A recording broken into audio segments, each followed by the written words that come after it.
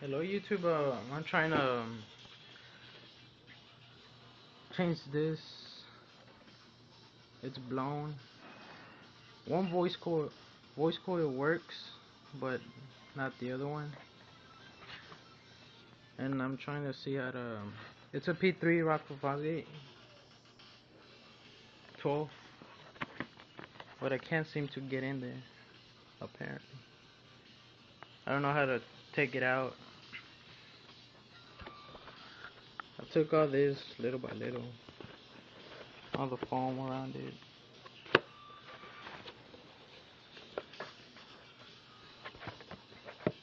Well, I'm basically trying to fix it. Got my Orion over there. This piece is the waste. Well, yeah. Hope one of y'all can help me do this.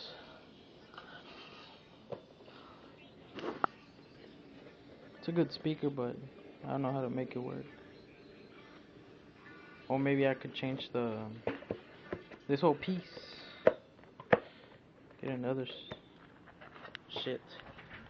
I got this one. This one works quite good. I don't, I don't know why I have that, but yeah.